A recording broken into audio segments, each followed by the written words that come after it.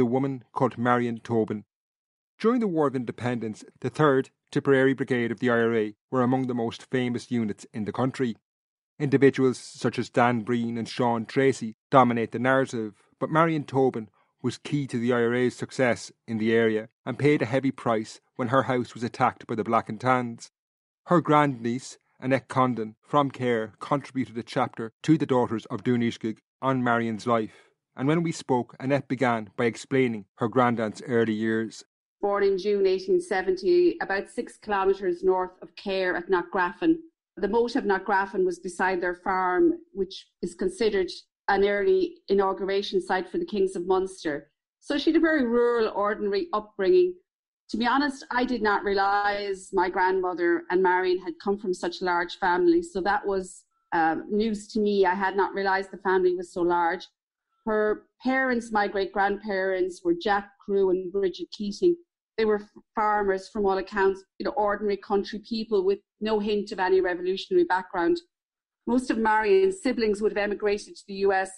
In November 1902, she married James Tobin, who was from Tincurry, with my grandmother Annie as, as her witness, as her bridesmaid. Tincurry is a townland about six kilometres south of Cahir, so as you're heading from Cahir towards Cork. In the 1911 census, I found her listed along with her husband James, and they had three children. At that time, May was age seven, John was age six, and Ava was age five. So James Tobin, from all accounts, was very involved. Um, the Bureau of Military History documents the forming of the Tincurry Company on the roadside by James Tobin in 1917. And this was later to become the Cahir Battalion and later still the 6th Battalion of the 3rd Tipperary Brigade. So the house Marian married into was referred to as the IRA divisional headquarters on the maps. And certainly from Marian's own words, his headstone records that he was a captain of the Irish Volunteers and in Marian's own words, president of Sinn Féin, and he was in frequent correspondence with Arthur Griffith after the 1916 rising. What I thought was very interesting was this compared very radically to his brother John, who was a GP and a magistrate in England, who and very well connected to the British establishment. So again, you have this dichotomy of two people in the same family choosing to follow different paths, which I find intriguing. Um, how within one family, uh, you know, they can come to very different outcomes and very different opinions. Marian's life changed dramatically when she suffered two tragedies in close proximity. The first being the death of Annette's grandmother, as she explains now. So, my grandmother, Annie, to whom she was very close, um, my grandmother lived in Cahir, so they would have lived relatively close to one another. She died in childbirth in October 1917. And then just eight months later, in June 1918, her husband died of cancer at only 51. And he left her with three children, aged 14, 13, and 12. So she was well provided for, but it must have been a huge loss. She lost two very important people in her life within a relatively short time period. Yet seven months later, as a 49 year old widow and mother, she was playing, as you said, her part in the, in the War of Independence, which I found remarkable. I think it was really, she felt that she was continuing his legacy and that it was her duty to continue his work. The War of Independence began in South Tipperary when a shipment of explosives being taken to a local quarry at Soloheadbeg was ambushed. Three days later, the men involved in that attack would turn up at Marian's door, beginning her involvement in the war. In the early hours of 22nd of January 1919, three young men arrived at her doorstep, cold, tired, and on the run. Their names were Dan Treacy, Dan Breen, and Sean Hogan, and they were at that moment the most wanted men in Ireland. They had just tramped across the Galties, over the fields, and along the railway line to Cahir.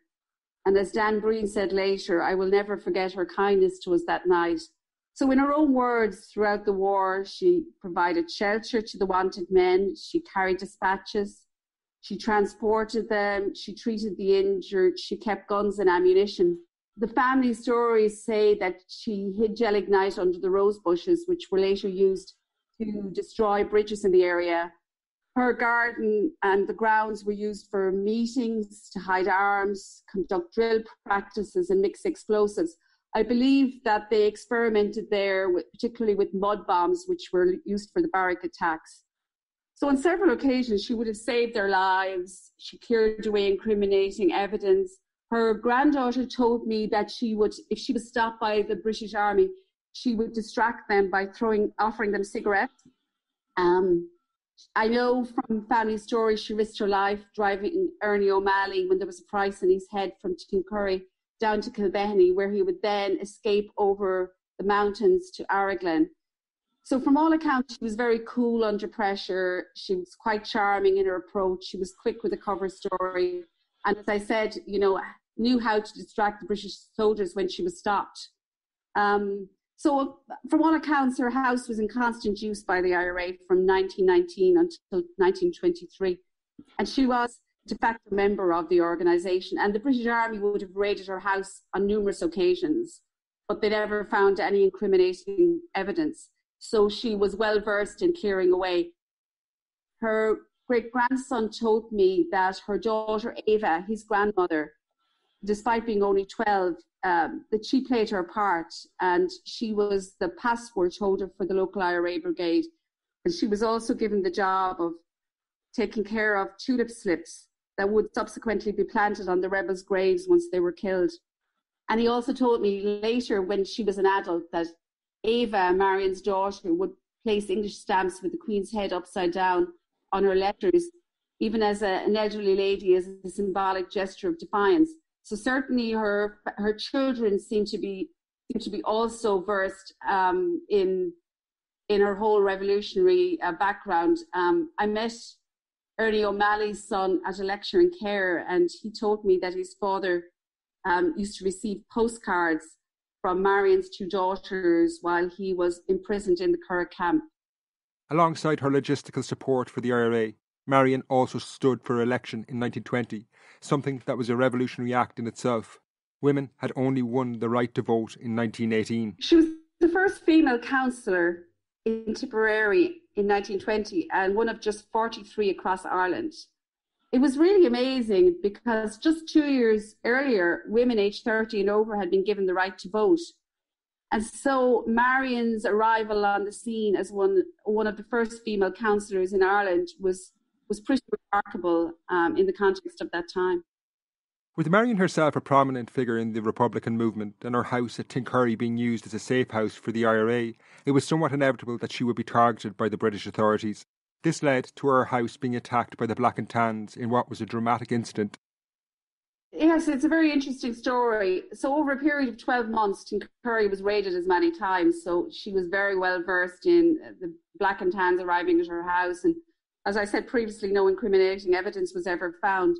But on May the 24, May 1921, in retaliation for the kidnap and execution of District Inspector Potter, which is in itself a terribly sad story, uh, the Black and Tans arrived at her house, and in reprisal for his death, 14 houses, including Tincurry House, were destroyed, um, according to the orders of Colonel Commandant Camerson.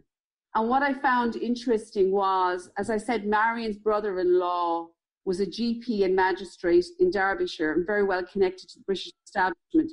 And what I found amazing was the, the destruction of Tincurry House, Marian's home, was actually discussed at Westminster. And I found this very riveting. I suppose last year, the year before, when I was doing, sorry, when I was doing the research, you know, all we heard from Westminster was about Brexit. And I thought, wow, you know, back then, imagine the, the destruction of a house in Cahir was being, destru- was being discussed in Westminster. So, in the words of Dr. John Tobin, the military arrived and gave her an hour's notice to clear out her family, that the house was to be demolished. No furniture was to be removed, only sufficient clothing. No reasons given, nothing incriminating found, though the house had been searched and raided a dozen times or more night and day during the last 12 months or so. Before placing the bombs, the house and all its rooms were searched, and every article of furniture was smashed with picks and hatchets. The beds and bedroom furniture, as well as all the old mahogany chests, were broken into matchwood. The new bathroom and bath and its basins were broken to bits. In fact, everything in the house, upstairs and down, was broken with picks and hatchets, so that nothing could possibly be saved or restored. Having thoroughly completed this wreckage, the bombs were placed in the principal rooms and fired, and the dear old house and home blown to the four winds of heaven. Meanwhile, the widow and her little daughter, Ava Tobin, stood on the lawn as grim witnesses, carefully surrounded by the armed forces of the Crown. And of course, my father's story then was that Marian had actually pleaded with the Black and to save the piano for her children and had pulled out the piano onto the lawn and played God Save Ireland. I don't know whether that's true or whether it's been added to by family accounts over the years, but it makes for a good story. Annette finished by talking about Marian's later life. So she served in the county council until 1925. Uh, Tipperary County Council pledged allegiance to Dáil Éireann, and the council officially refused to aid the British military. Marian Tobin was really at the centre of it all. So the house was rebuilt later in 1921 and completed in 1932 as a single story building. Marian moved, she had another farm close to Tipperary town, so she moved there and then later to Limerick and the house was put up for, for auction in 1942. And then she, she died in 1955 and is buried in Ballylooby with, with her husband.